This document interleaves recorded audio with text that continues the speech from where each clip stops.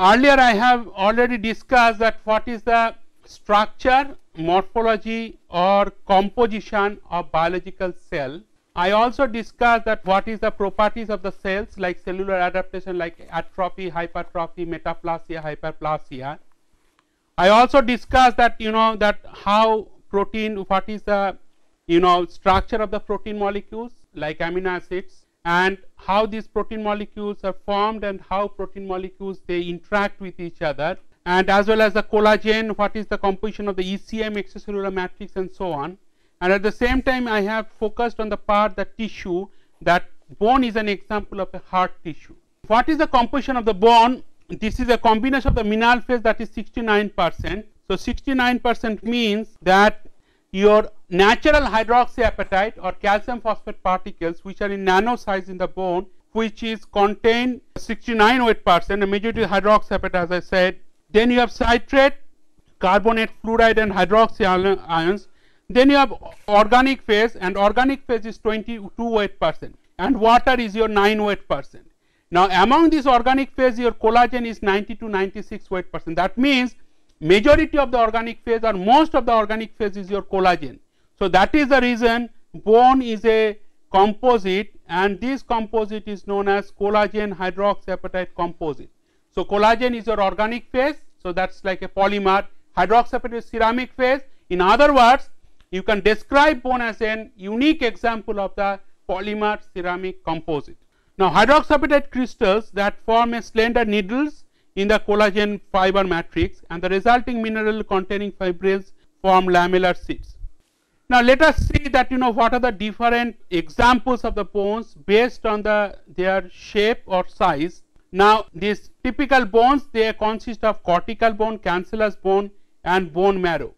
So, I think in one of the earlier lectures I have mentioned that cortical bone is the outer surface of the bone which is very hard and strong Cancellous bone is the porous structure or called trabecular bone. So, porous structure means whenever bone has a porosity that means the properties are inferior compared to the cortical bone. So, property wise cortical bone is stronger compared to the cancellous bone. Then you have the bone marrow, bone marrow is that region or matrix region inside the bone. Now, many times if you say that uh, a patient is having a cancer and people say bone marrow cancer, bone marrow cancer means there are some cells inside the bone marrow region that is proliferating at an abnormal pace. So, cancer is nothing but cell growth or abnormal growth of the a group of cells and which cannot be controlled or which is not natural. Long bones, long bones is typically in tubular in shape and this length of the bone is greater than the breadth. So, if you consider the aspect ratio, aspect ratio of the long bone is much greater than 1 that is the length to the breadth ratio. Some long bones can actually be short and this consists of a shaft and two enlarged curved ends and shaft of the bone consists of cortical bone surrounding medullary cavity. I think I will show you some slide what is meant by medullary cavity. Now examples of the long bones are the thigh bone that is called femur, tibia and fibula that is the calf bone, humerus that is the upper arm and radius and ulna is the lower arm. So you have the femur, tibia and fibula and you have the humerus and you have the radius and ulna. Now, let us see that how this macro structure of the long bone they look like. Now, this is a typical structure of a humerus and if you see that humerus entire structure you have a kind of a cap here and you have the long end also. So, you have a cap that is that you know long compact bone and compact bone is the outer surface of the compact bone and inner surface you have a spongy bone. Spongy bone means cancellous bone. So, cancellous bone has a different name. One is a spongy bone because it has a porous structure. Other name of the cancellous bone is called trabecular bone. So, trabecular bone, spongy bone, cancellous bone they are synonymous. Synonymous means they carry same meaning. Now, cortical bone that is the harder part of the bone. Now, if you take a cross section what you can see in the cross section this is called your actually medullary cavity. Now through this medullary cavity you have a blood proteins everything they are circulated throughout because blood is the tissue which carry always oxygen to different parts. So if the blood flow is not there at any part that means oxygen is not transported If oxygen is not transported, cells will die, cells will undergo apoptosis and therefore tissue will not perform its automatic function, tissue also will die. Now epiphysis, epiphysis is the end of a long bone and this is the, you can see that is that how this long bone end will look like. So this is the region I am now, so this is the region we are now focusing here and these are different parts that A is the articular cartilage at the end of the bone. So this region is that articular cartilage. Now B is that bone trabecule, bone trabecule or the spongy bone now C is the red marrow cavity that is the region that is red marrow cavity and D is the hyaline cartilage. Now D is again this part. So cartilage is another tissue. So what it say what it shows here both the outer region and the inner region you have the cartilage tissue and inner part you have that cartilage cancellous bone or the trabecular bone.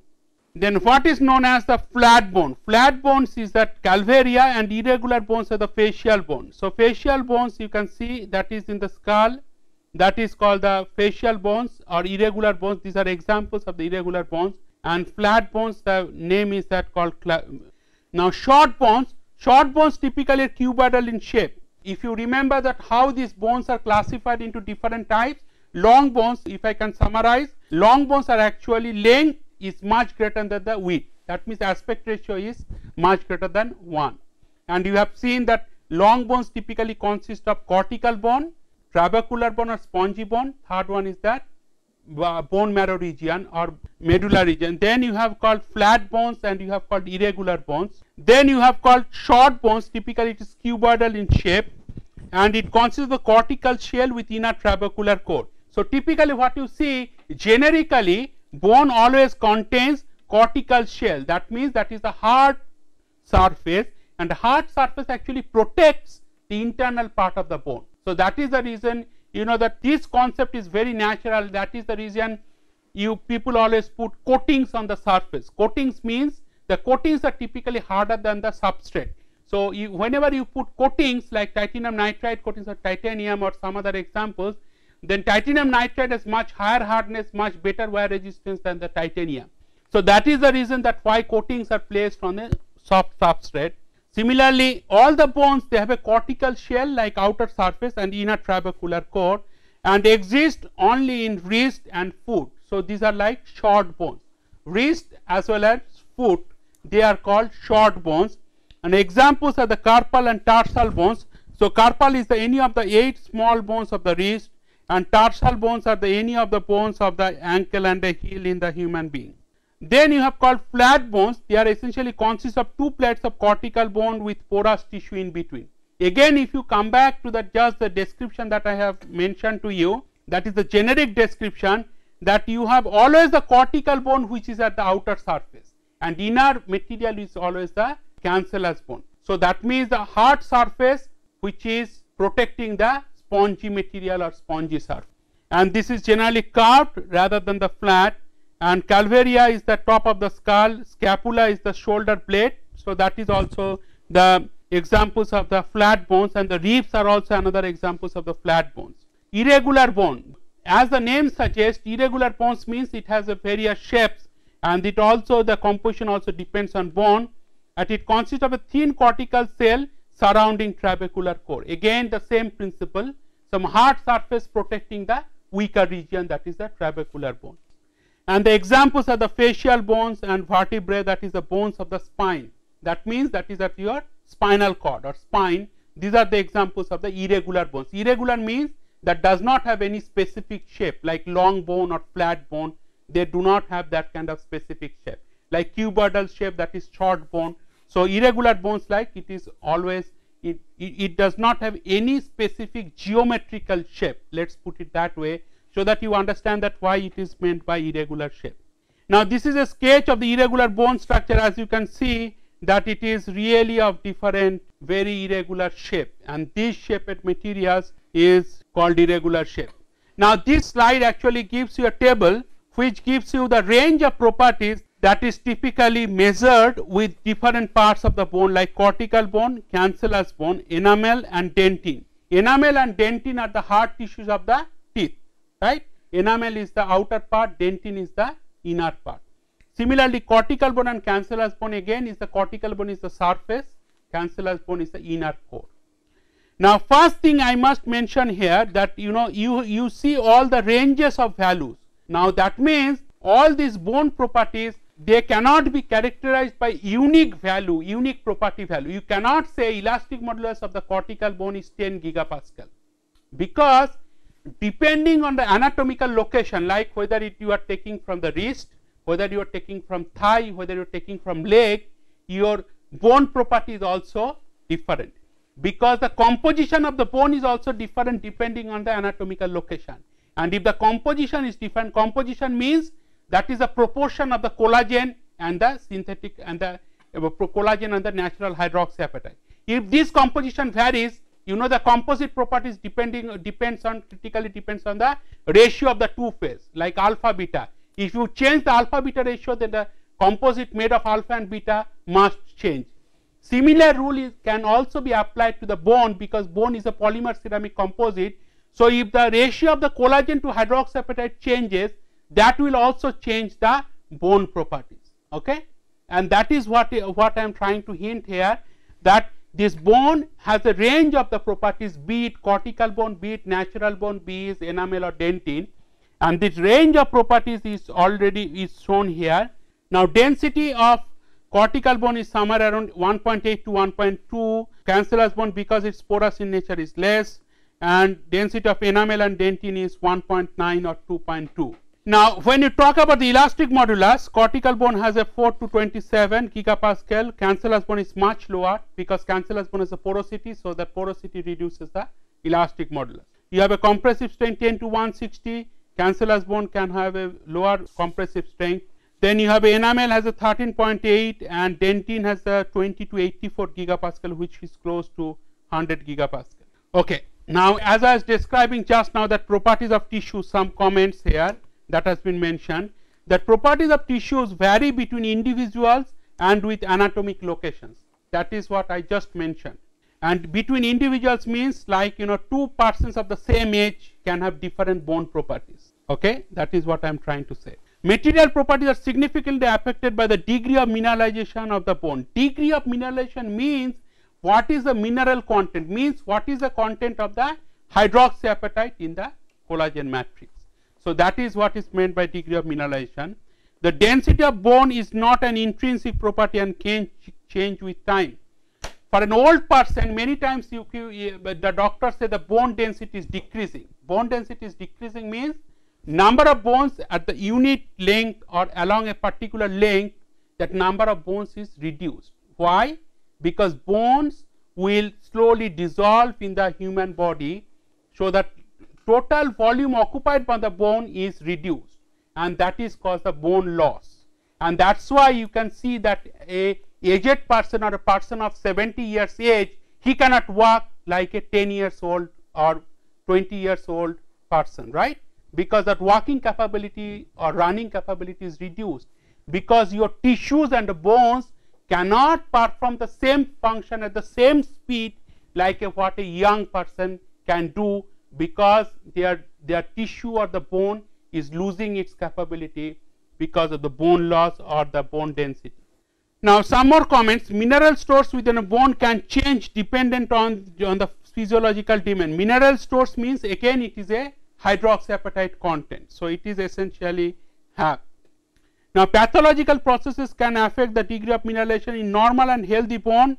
The range of bone and bone mineralization is small. What it means?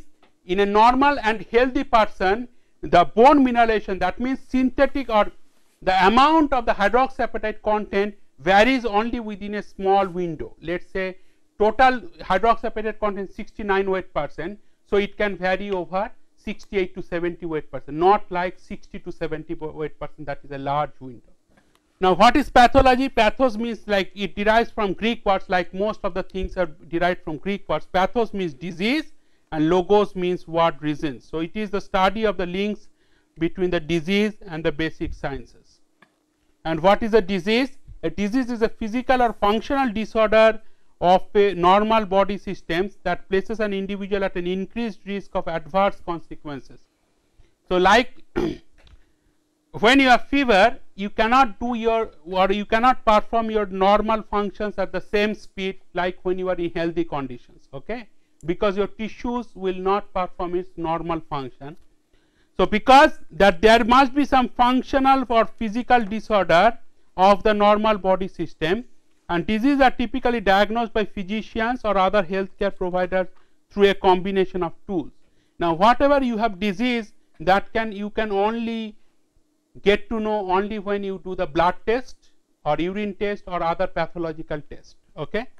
Now, let us discuss something on the mechanical response of the human cortical bone.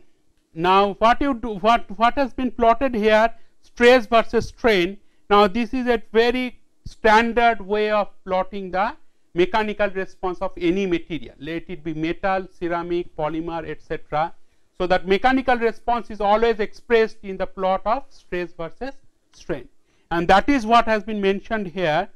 Now, this is a human compact bone means compact means it is like a cortical bone. Mostly it is a cortical bone. Now, what you can see from this graph? This graph you can see if you increase the strain rate strain rate means if you increase the epsilon dot. Epsilon dot means this is d epsilon by dt and that you can increase by varying the cross head speed. Suppose you have a tensile specimen you are pulling it with two cross head speed and that cross head speed if you increase or decrease or if you vary then your strain rate also will vary. And if you increase the strain rate from 0.001 per second here it is a flat one to 1500 per second what you see you see that curves become much more steeper. Now, how this elastic modulus is calculated? Elastic modulus is calculated from the slope of the linear part right and from there what you can see when the strain rate is increased. So, if your epsilon increases then your elastic modulus increases right. When epsilon increases your strength also that is sigma t or whatever that is also increases, but what decreases? That is your ductility that is decreases. And how this ductility is measured here? Ductility is measured by the total strain at failure.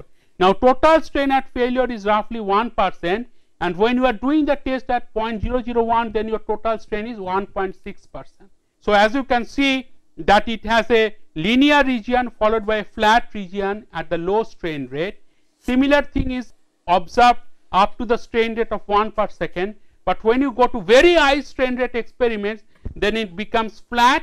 So, then it becomes very steep and the non-linear part or the flat part is also reduced and accordingly your elastic modulus increases, your strength increases at the expense of decrease in the ductility. That means your strain to failure is significantly reduced compared to the low strain rate test.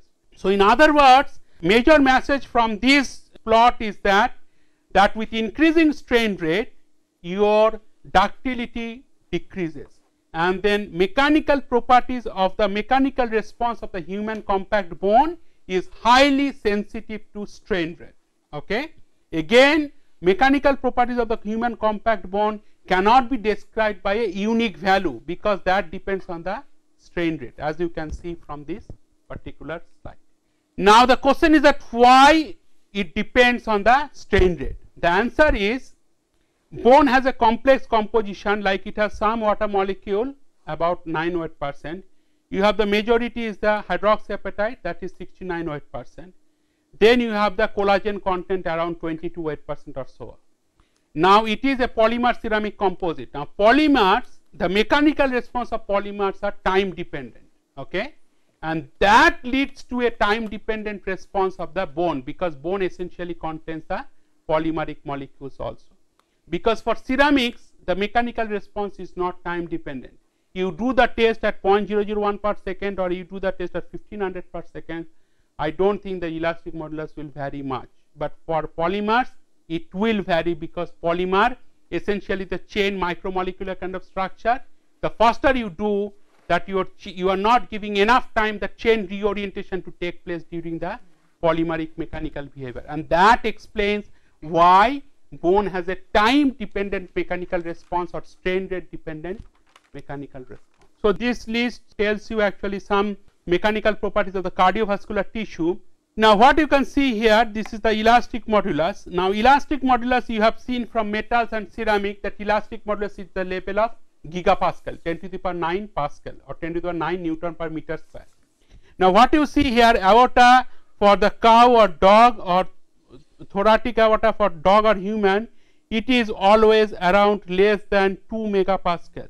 So, that means it is extremely soft tissue. Soft tissue means the properties are very much less. So, megapascal versus gigapascal means it is 3 orders of magnitude lower elastic modulus when you are considering the soft tissue.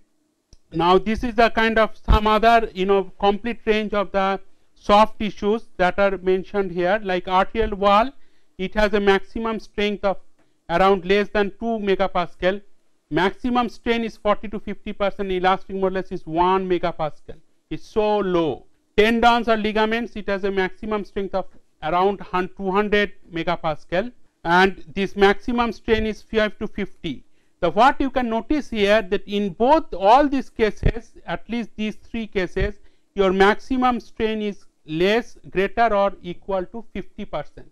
So it is a large strain of fracture strain to fracture that is possible you cannot get this kind of strain to failure in most of the metals or ceramic materials. Only in the polymers you can get this type of large strain to fracture. What it means? That means this most of the soft tissues are largely polymer based. That is why it gives such a large value of the strain to failure. I will be describing the typical uh, protocol that is followed in in vivo implantation as well as histopathological evaluation of biomaterials. So, before I do that let me remind you that why in vivo testing is required because in vivo testing is critically important or it is very critical for development of clinical devices. For last few lectures I have described that in vitro test like what is the in vitro biocompatibility assessment or how different in vitro tests like cytotoxicity, genotoxicity, hemocompatibility they can be performed in laboratory scale environments and laboratory scale means that is the in vitro test.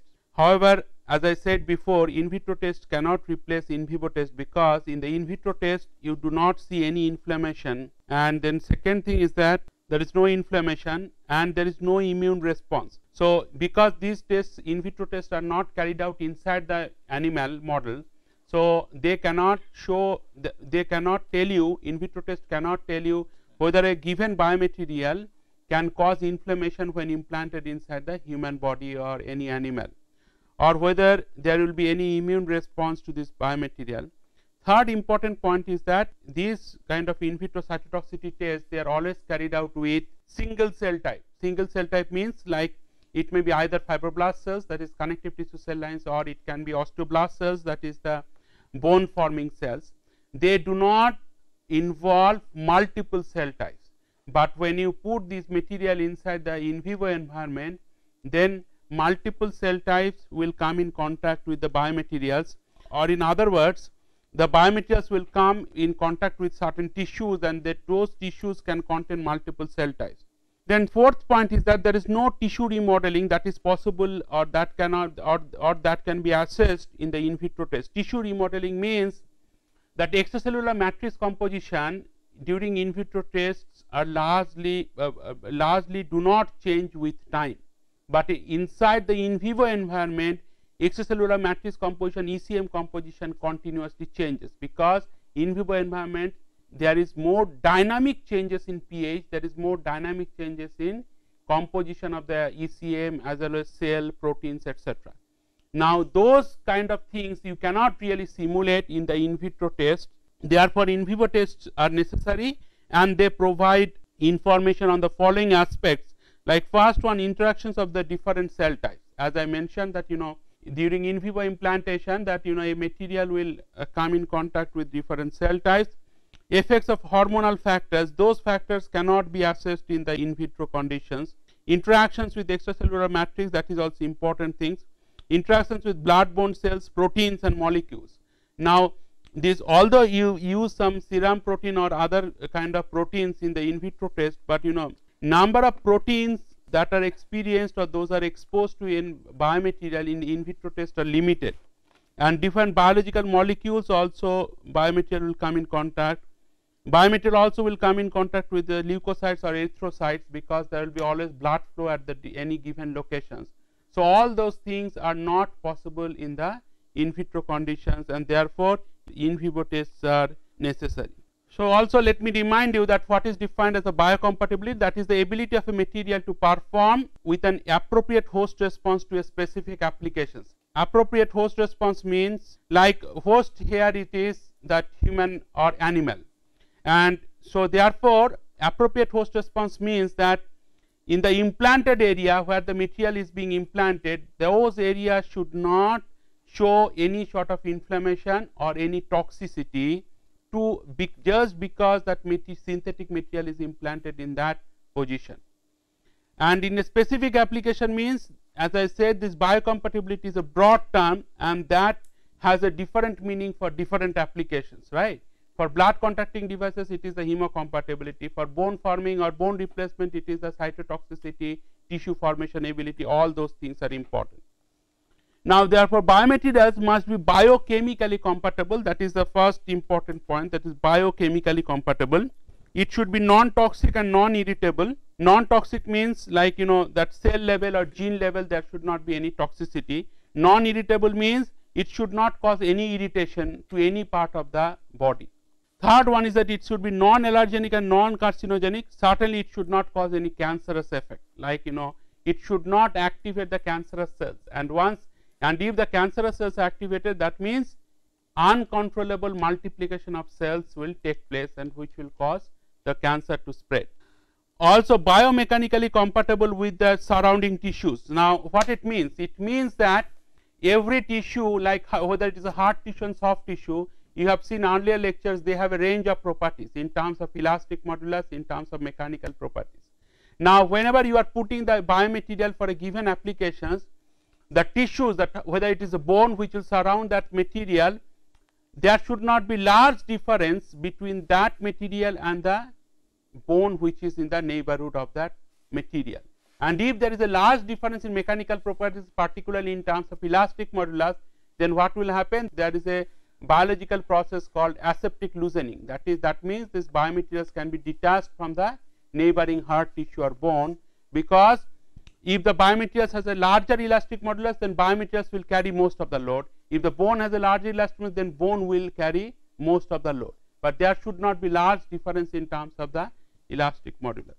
Then last point I have mentioned here the bioadhesive contact must be established between the materials and living tissues. Bioadhesive contact means there should be some kind of biological contact that means when a material is implanted then if it if a capsule tissue is formed around the material implant then that is what is desirable for good in vivo biocompatibility. Now these implant effects can be simulated in vivo that is dead space can be created by the implant and insoluble particulate materials released by implants. Now, these are the factors which you can easily assess during the in vivo testing. The first one is the dead space created by implant means like suppose you have a very long bone structure and the long bone you cut some pieces of the bone then you put your implant. Now, dead space means if the interface is not uniform interface means that is the space between the implant as well as the natural bone if the interface is not not continuous then what will happen there will be some dead space which will be available where there is neither material nor any natural tissue okay so that is what is not desirable. Then in those case there will be problem with the mechanical behavior of the bone.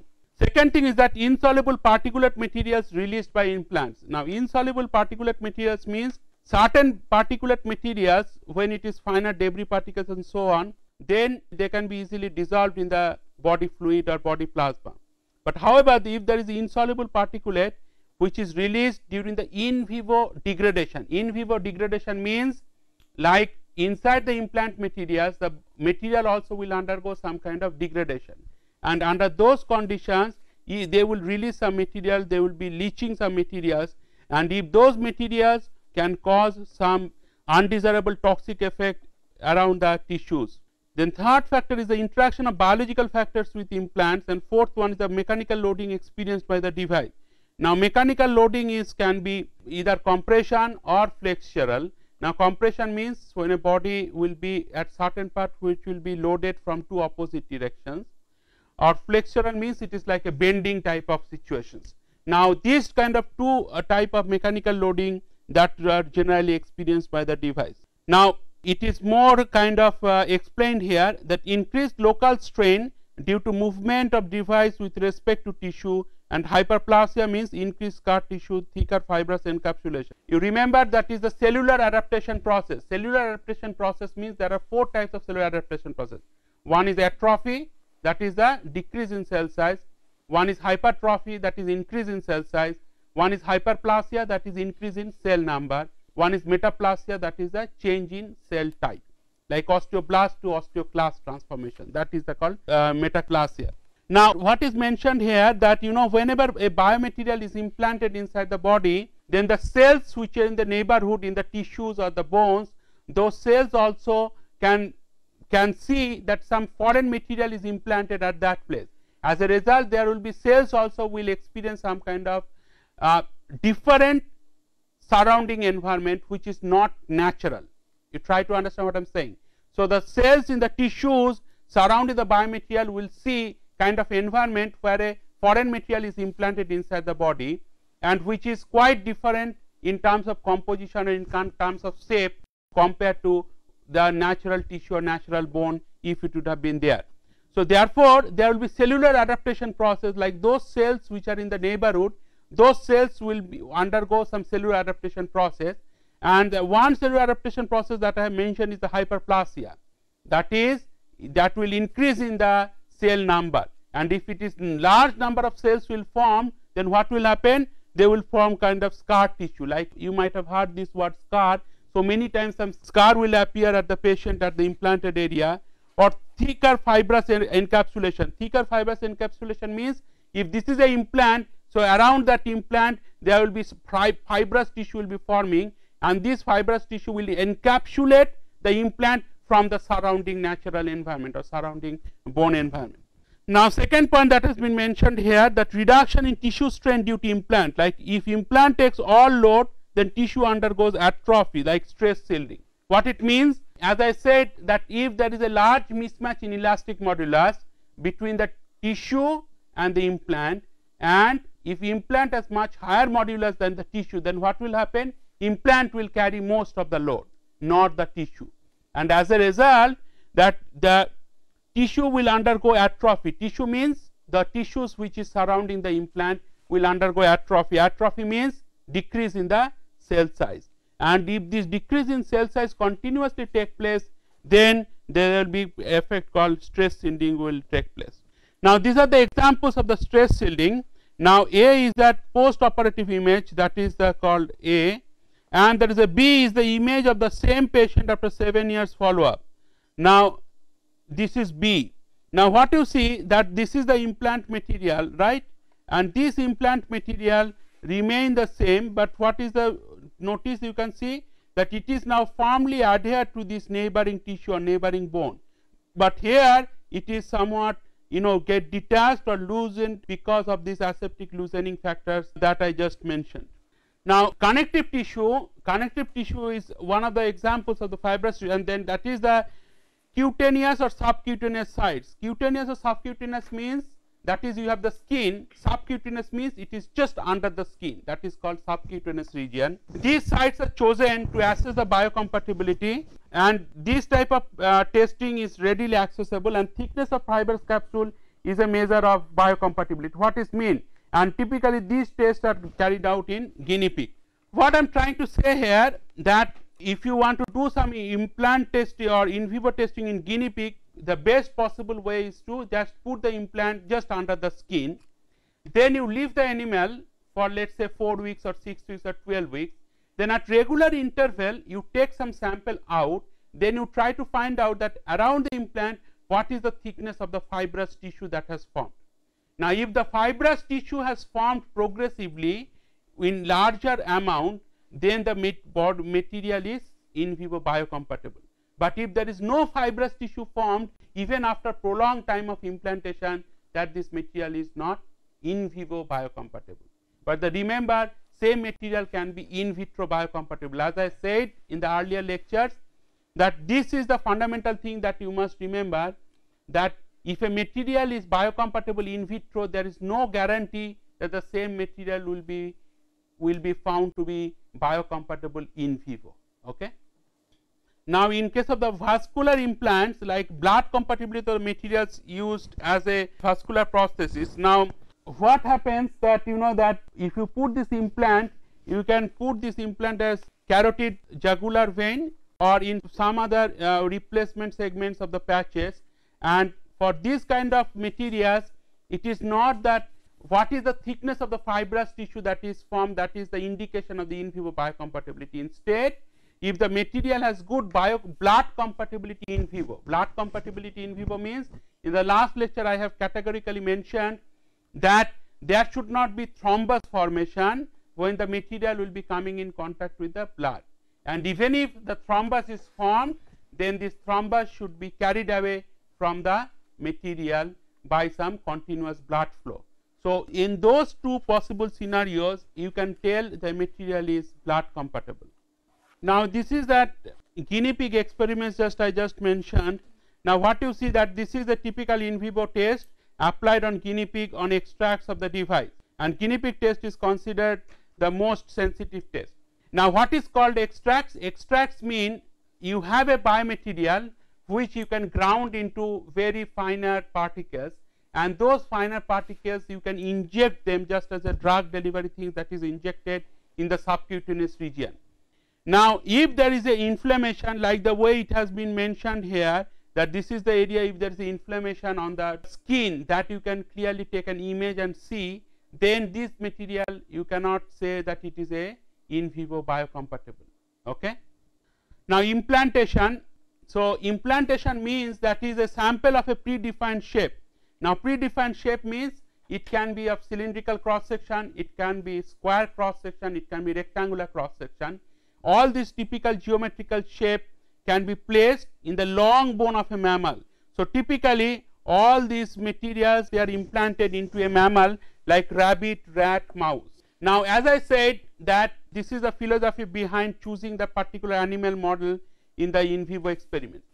If a material that you develop for bone replacement or the load bearing bone replacement materials implants, then the first thing you should do the implantation test in rabbit, not in the small animal because small animal means rat or mouse their bones the strength of the bones is not as strong as the way you get the intermediate animal model like in rabbit. So, this load bearing capability or the effectiveness of this material as a load bearing implant that you cannot assess scientifically if you use the rat or mouse model. So, selection of the particular animal model is important in the in vivo test other thing that I have mentioned I think couple of lectures back that larger the animal like rat is a small animal, mouse is similarly small animal, rabbit is little large animal, then goes to dog, sheep and then goes to human. Now, as the size of the animal progressively increases, the complexity of the in vivo environment also continuously increases. Like complexity means the changes in pH, changes in temperature, changes in the number of proteins available, changes in different cell types etc., etc. In terms of biological complexity also subsequently increases if you go from small animal to intermediate animal to large animal. Okay. So, in, if you choose the intermediate animal model that what we call the rabbit model or rabbit experiments, then it is you can choose you can say that this material is in vivo biocompatible in the rabbit model. Again, if a material is successfully found as a in vivo biocompatible in rabbit model, there is again no guarantee that the same material will be in vivo biocompatible in the human being. Unless until you do the test in the human, you cannot safely state that this material can be used in the human body. You understand this is the kind of philosophy of the in vivo test. Now, after some period the samples and surrounding tissues are examined histopathologically to determine the in vivo response of the materials that what it means that suppose you implant the materials at a particular area.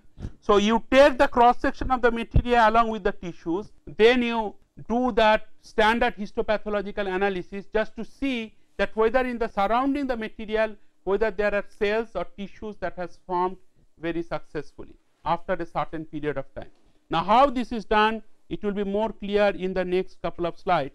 Now, first thing is that you have to know that according to the ISO standards or FDA approved uh, uh, protocols, ISO means International Standard Organization, FDA means Federation of Drug Approval. Now, these implantation tests are the two types of implant. That is that one is a short term and one is a long term. And in short term test can be done for up to 3 weeks to 12 weeks. And then whereas long term uh, test implantation test can needs to be done for up to 12 months. Now, why these two tests are necessary? These two types of tests now if you want to screen a certain biomaterial whether it is in vivo biocompatible you can do for short term period and long term period what happens if some materials some leaching or biodegradation takes place over the long term period then that cannot be assessed if you do short term period like up to 3 months 3 weeks or 4 weeks or up to 12 weeks. Therefore, if you do the long term test then you can be more sure that this material is in vivo biocompatible for the long term basis. So, implantation studies also evaluate the potential leachable substances using chronic systemic toxicity and then blood hematology and biochemistry are also performed in many cases. So, as I said the different uh, animal model which can be used or which are used like mice, rats, guinea pig, rabbits. As I said the rabbit model typically used for the kind of materials like ceramic based materials or uh, biopolymer based ceramic composites those kind of materials rabbit model is uh, used. However, if the material is uh, uh, is entirely polymer based where the mechanical properties is much inferior compared to ceramic based materials in that case smaller animal models like rats or mice also cannot can be used. Now, implant is first cut into size sterilized and implanted and then X-ray radiography needs to be carried out and this X-ray radiography means like you have to take that X-ray image. Just like you know you take X-ray image for that when your leg gets fractured or your hand gets fractured. Similar X-ray image you have to take at the implant site. You have to store it. Then you have to see after one week this is the X-ray image. After three weeks this is the X-ray image. Like that you can compare this X-ray image. Okay, this is like you know standard protocols what is defined as that ISO 109936 that is the implant effect now test in the long bone of the rabbits. Now this is like 1 into 10 millimeter strips of the material that you can that can be cut and sterilized. This is placed in gauge needles anesthetics applied to the implant site. So, it is like you know every test is done in a OT like operation theater. So, you have to give anesthesia to the local anesthesia to the animal at that site and then 4 test sample and 4 controls of the each composition needs to be implanted in the paralumbar muscle. So, what it means like you have to use the test samples like your materials which are testing at the same time you have to uh, put the control samples also. Now, why control samples is necessary? Control samples means the samples where you already know that is in vivo biocompatible. You understand what I am saying? So, that respect with respect to the control sample you can now assess whether a given material or the material that you have developed in your laboratory is in vivo biocompatible or not. So, that is why the control sample is necessary and you already have seen that all the in vitro experiments also that is all always positive control or negative control sample is always used. Now, test samples and controls on the opposite sides that means that if you take one leg of the rabbit you put your test samples if you take another leg of the rabbit then you put your control samples. So, these are like on the opposite legs. Then short terms as I said up to 1 to 12 weeks long term you have to do this tissue response up to 78 weeks. Now, at each interval now what would be the interval that you will be observing that depends on whether it is a 1 week, 4 weeks, 8 weeks, 12 weeks or it will be 1 week, 4 week, 12 weeks. Now, this reactive material is typically 2 to 4 millimeter thick. What is reactive material here? That is the just the material and the tissue surrounding just adjacent to the material that is called the reactive material and no visible capsule on the control material and histopathological examination will actually tell you that what is the inflammatory reaction to the implant and whether is a cell death around the implant. Now, if there is a cell death around the implant then what will happen that the material cannot be used in the real life applications.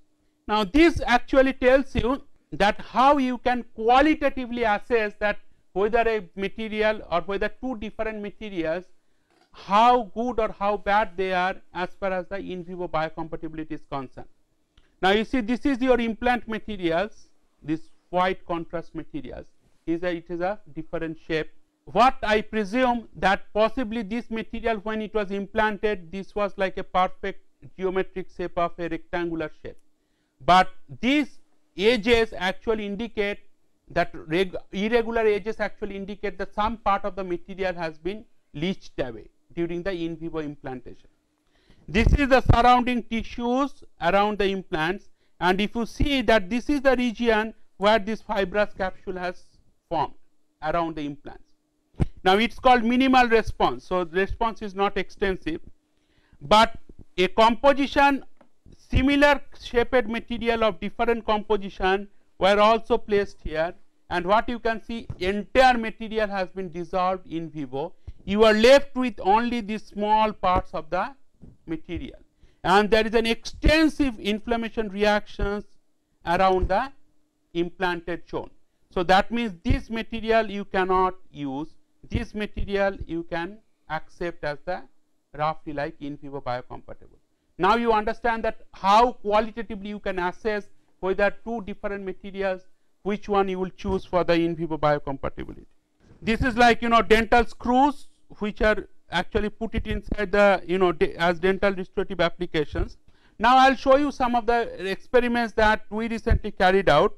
Now, these are the material shape typically we used in our experiments as you can see these are like cylindrical shaped specimen and I know their diameter is around 2 mm diameter. So, it is extremely small size diameter a small size and this is aspect ratio is around 3 to 4 aspect ratio.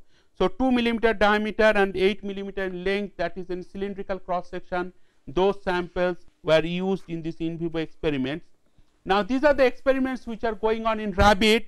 Now, this is the long bone of the rabbit as I said that this long bone you have to put some holes here these are like three different holes and these holes the moment you drill the holes there will be also blood coming out right through these holes and you have to put the material here at three holes in one leg.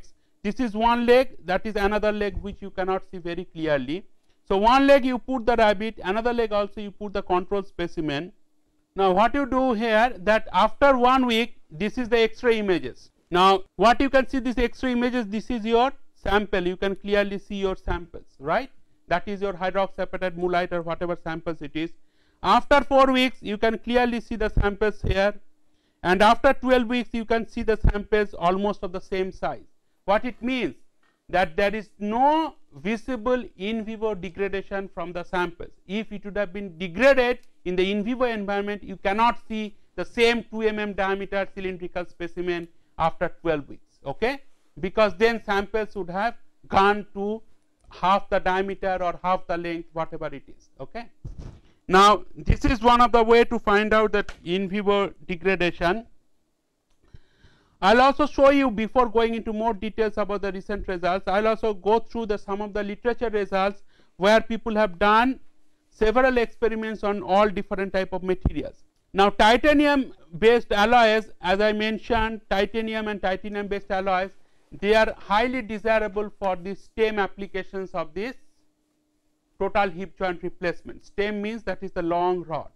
And why titanium is preferred? I said that from the point of view of the corrosion and wear, titanium is more corrosion resistant compared to stainless steel stem for example. Now, if you see here that after 4 weeks, it, these materials are implanted in an animal model and these are like 4 different composition. One is Ti6Al4V that is titanium 6 percent aluminum 4 percent vanadium, Ti 13 Nb 11 zirconium, the titanium 13 percent niobium 11 percent zirconium, Ti 6 Al 4V that is titanium 6 percent aluminum 4 percent vanadium plus hydroxyapatite means hydroxyapatite means this is is in the form of hydroxyapatite coatings then you have this Ti13NB1 zirconium plus hydroxyapatite like you have this same alloy but with hydroxyapatite coatings after 4 weeks. And what you see in this Ti13 IBM 11 zirconium plus hydroxyapatite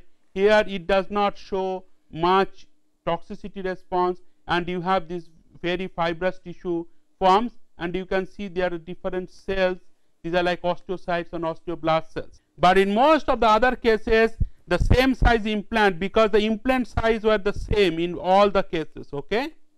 However, this is the region this is the region that the material has been dissolved in the in vivo environment.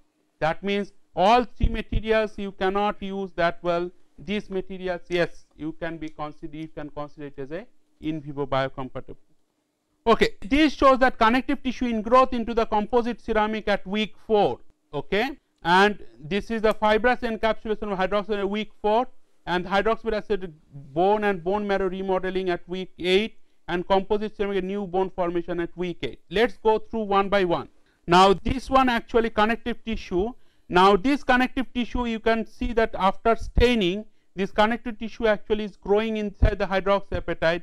This entire material is your hydroxyapatite. This entire region is your natural tissue. Now, fibrous encapsulation means as I said that if a material is in vivo biocompatible around the material there will be a fibrous tissue and this fibrous tissue will be formed and they will encapsulate the material from the surrounding natural tissue or bone. The third one is that hydroxyapatite bone growth. Now, this is the bone marrow and this is the cortical bone CT and you can see that there is a nice bone formation even after 8 weeks and this is shown as the neo bone formation, neo bone or new bone formation at the implanted region. So, hydroxyapatite is well known as that in vivo biocompatible material and this is the proof that yes under the in vivo conditions even after 4 weeks or 8 weeks you can clearly see that new bone formation. So, this is after 14 days or 2 weeks of the implantation on different material like T, T, Ti6Al4V, PSHA coatings and DDHA coatings. Now, in all these cases you can see that is the neo bone formation and this is also the region bone formation. Now, Ti6Al4V this is your implants okay. This is the region that is the where the neo bone has been formed. This is also that another Ti6Al4V and on that there is some coatings hydroxyapatite coatings is there and this region neo bone formation. So, what has been shown here that hydroxyapatite putting the hydroxyapatite coating on this titanium 6Al4V also enhances this bone growth or bone formation in vivo. Okay, this is the transmission electron micrographs and these transmission electron micrographs essentially tells you that what happens after implantation for 14 days. So, here the two materials were uh, in, investigated one is a plasma sprayed hydroxyapatite coating and another one is electrochemically deposited hydroxyapatite coating. So, plasma sprayed hydroxyapatite coating this one electrochemically deposited is this one. Now, this is your coating structure and this is your mineralized tissues. Mineralized tissues means like these tissues has lot of hydroxyapatite content. Mineral means that is again the inorganic component of the bone that is the hydroxyapatite and this is the mineralized tissues which are formed here and that you can clearly see after the staining. Now, there are several other metallic implants that which are used in the in vivo conditions that is nickel titanium. This is a shape memory alloy nickel titanium and this nickel titanium implant when it is put it for 13 weeks of implantation in a particular animal model then what you see here that large number of bone cells and collagen fibrous networks that you can see and a little bulge cell and collagen fibers on uncoated nickel titanium implant. Now, here you can see large number of osteoblast cells and this fibrous network you can see these fibrous networks are essentially collagen fibers. So, both the collagen fibers and osteoblast cells if they are present in the neighborhood that will clearly indicate that you are essentially enhancing the extracellular matrix formation as well as the bone forming cells are activated so that you can have new bone formation. However, if you compare this with this, you can clearly see that when you are do, when you do not put any hydroxyapatite coating, then you don't see that well the bone cells, different bone cells, as well as this collagen network is also not that much prominent or more visible or more extensive like that in the presence of the hydroxyapatite coating. Now, how this bone tissue histopathology that is carried out in real life? Now, you have to first fix the samples in the toxicological lab, then implanted zone are cut using diamond saw. So, using the diamond saw you can cut the implanted zone. Then you have to do it for the dehydroxylation using alcohol. So, that means that serial dilution using alcohol you do that you get rid of that all the water molecules which are absorbed. Then you embed it in resin. So, you put it in resin and then you cut the cross section wise using the diamond saw. Then you can grind and polish the cross section samples and subsequently you can stain and you can observe them under the microscope. Stain means it is just like etching of the metallic materials. Stain means if you do etching in the metallic materials, ceramic materials, you can see grain boundaries. Similarly, if you stain, that means you can use some particular chemical reagent and those chemical reagent actually will stain certain cells or the extracellular matrix or the actin filaments or the nucleus or the mitochondria. Depending on what kind of stain you used, what concentration of staining used, you can clearly see those cells and the particular features. So, typically the stains those are used in this histopathological investigation. These stains, these stains are widely used as Stevenel's blue. The Stevenel's blue it is generally used mostly for this uh, bone tissue staining. And then other stain used for soft tissue is that eosin and hematoxylin. The soft tissue of the soft tissues these are like different tissues like these are not like hard tissues or bone cells. For the bone tissue engineering this is always Stevenel's blue which is widely used. Now, as I said just few minutes ago that you know that staining agents is just like etching or etchants in case of the metals.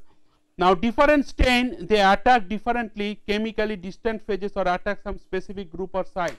What it means? It means that like an etchant in case of metals and ceramics, they also chemically attack the different grains and then they will reveal the grain boundaries. Similarly, here these stains attack different chemically distant phases like mitochondria has different chemical environment compared to the nucleus per, per se. So, nucleus will stain differently compared to mitochondria or nucleus will stain differently compared to the extracellular matrix or the actin filaments or the cytoskeleton. Because all these phases although they are bound in the same cell, but they have different chemical composition and accordingly they will be attacked in a different manner by the stains. Now, what is the dehydration? How this dehydration takes place? This dehydration first you have to you know use first 70 percent alcohol for 1 to 4 days, 80 percent, 96 percent and 100 percent alcohol for 2 days and then alcohol acetone mixture that is 1 to 1 is to 1 that is for 1 day and 100, finally 100 percent alcohol for 1 day. So, that is the way you can dehydrate or dehydroxylate this entire tissue material interface sample. Now, what are the things normally you should look for when you look these bone tissue samples under the microscope for in this optical microscope or fluorescence microscope or what kind of microscope or ACM. Then you want to see first is this new bone formation whether that takes place around the implants that is the number 1. Number 2 whether there is an inflammation around the implant and number 3 whether there is a bones is the osteoconductive and it has a osteoinduction property. Now, some general observation is that during initial period, let us say some many times what people have reported in the literature like let us say first after the initial first one week, some kind of inflammation may be observed and that is due to the bone marrow response. But this inflammation should not sustain for 12 weeks or 78 weeks. This will go away as you give more and more time for the animal to heal from that wound. Essentially, whenever you cut a long bone, essentially you are wounding or you are giving some wounds or you are imparting some wounds to the animal and then every wound healing process biologically will take time. Suppose you get some you know your your heart in this in your legs. So, there will be some blood clotting and everything. So, this blood clotting will not go just one hour, it will take maybe one day. So, similarly, in the animals also this wound healing process takes place possibly a week or so and new osteoblast cells they appear blue in color after staining using Stevenel's blue and you have to also see that what is the orientation of the osteoblast cells around the implant. Osteoblast cells are not like you know epidermidis cell lines like they are just lined one after other. So, they are like connective tissue cells. So, they are dispersed in the extracellular matrix, but they are they are actually there are a lot of distances between these two or three osteoblast cells. Now, also you have to see that implant material and the bone interface that is the new bone formed can be observed and in some cases some matured bone or direct material bone material contact also can be observed. This is a clear indication of a good bioactive material. Bioactive material means bioactive in vivo then this kind of observation you can make. Then matured bone cells appear brown in color. Then if you see that matured osteoblast cells then you see the different colors and Haversian canal appear blue in canal. These canals are surrounded by osteoblast cells. Now what is a Haversian canal? Haversian canal is like a more or less like a cylindrical channel like of things through which nutrients and bloods and foods are supplied through the cell. Marrow protein appear black in color. Now all this color sequence you have to know that how they will appear in the fluorescent microscope. Then only you will be able to identify the different images. And there is a color contrast in the new bone and natural bone formation also. That is important because how you can see that whether it is a new bone or natural bone. Natural bone means what it has existed before implantation and new bone means what bone formation has taken place after you put the implant at the particular animal site. Now, this is the entire histopathological protocols you know you one has to follow to get to study this kind of in vivo biocompatibility aspect of biomaterials. Now, what it shows here this is a long bone okay as I have described uh, in last lecture that is a long bone typically has a large aspect ratio like it has a large length to diameter ratio. Now, in the long bone you are cutting at different region okay and then you put your implants this is the red circles that is the implants you have put in the long bone and then after that you take this long bone that you can cut it by the diamond cut diamond cutting machine then you put it in the dehydration that is in alcohol. So, that is like serial dilution that you uh, that you give the treatment to this bone tissue sample serial dilution. Then you embed it in some kind of PMMA that is polymethyl methacrylate, okay, that is a polymer. Then after you embed, then you cut the cross sections by the diamond saw. And if you cut this cross section in the diamond saw, then essentially you are seeing that both the implant and the implant bone interface. Then you take a thin section, then you polish it in that standard polishing wheel and then you do the staining. The staining is done by Stevenel's blue because of the bone tissue engineering and if it is for soft tissue engineering other stains like eosin can be used. Then you can use the fluorescent microscope to observe this what are the different features of the neighboring bone at the neighborhood of the implant. So, that is the entire protocol for this bone tissue engineering or histopathological response. Now, I will show you some of the results that were obtained for this hydroxyapatite mullite composites. Now, these tests were carried out Sree Chitra Tirunal Institute of Medical Science and Technology that is in Trivandrum down south and that test was done for short term implantation like up to 12 weeks. Now, after one week this is the hydroxyapatite 20 percent mullite because why we have chosen this particular composition because this particular composition demonstrated better combination of mechanical properties and better combination of the in vitro cytotoxicity, bone mineralization, etc.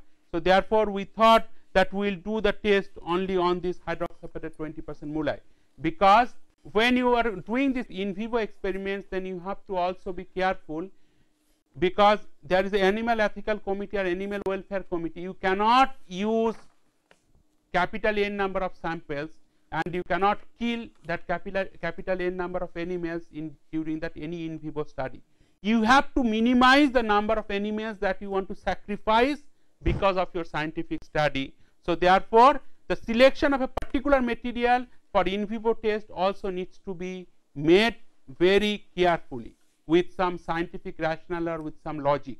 So, therefore, we have only chosen this particular composite and what you see here this is your implant.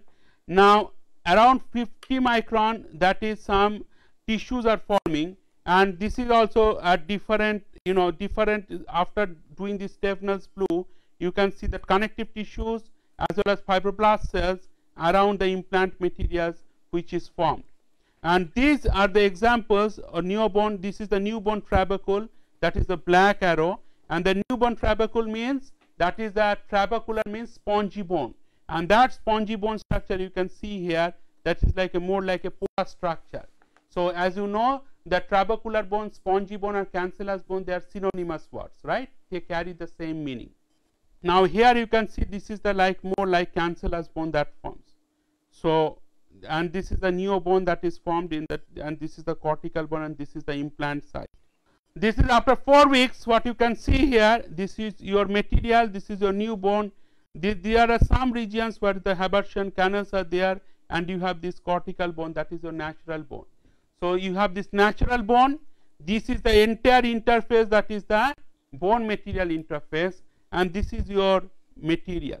So, that means this material shows good in vivo biocompatibility and you can see here that around this implant shown here and this part you can see that clearly the tissue formation and there are also multiple different cell types which stain differently in the when you use this Stevenel's blue. You are seeing some blue colored cells also you can see some differently colored cells here. This shows that you know how this bone material interface they look like in the scanning electron micrograph. If you closely observe then you can see there are some canals here right and these canals are essentially what I call is that Haversian canals. And also this interface is continuous. You do not see any gap in the interface or there is any loose part in the interfacial region. This is again some new bone formation and this cortical bone is formed and this is your implant material. Often if your sample preparation is not good then this is a brittle material you are handling you can cause some crack at the interface. These cracks are not necessarily formed because of any in vivo reaction. So, you have to also analyze it carefully because you are handling the ceramic based material which is brittle, you are handling some bone tissue at the interface that is also brittle. So, if your sample preparation is not done with extreme care, often you do see some kind of cracks at the interface. This is after 12 weeks and 12 weeks also you can see this is this is the shape of the implant. And then from this shape of the implant you can notice that this material does not undergo any in vivo biodegradation process. And these are like different cells like these are like osteocytes osteoblast cells. Now osteocytes is the white arrow and newborn is the black arrow in different images that is fluorescent images that you see here. This is 12 weeks. This is very good picture. What you can see this is a material. This is your newborn and that appears in different contrast. And this is your actually natural bone. Natural bone again natural bone contains both trabecular bone as well as the cortical bone. Typically the surface outer surface is cortical bone, inner surface inner area is the trabecular bone or the spongy bone structure. So, I think I have finished here that is the discussion on the in vivo implantation and then in the next lecture I will start with some of the results that we have got uh, experimental results that we have uh, got on this hydroxyapatite based different biocomposite and some of the polymer ceramic composites.